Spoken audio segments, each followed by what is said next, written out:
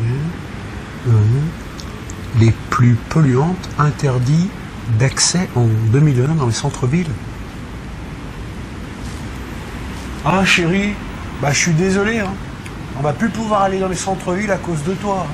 Ils le disent dans le journal. Ah, les voitures les plus polluantes.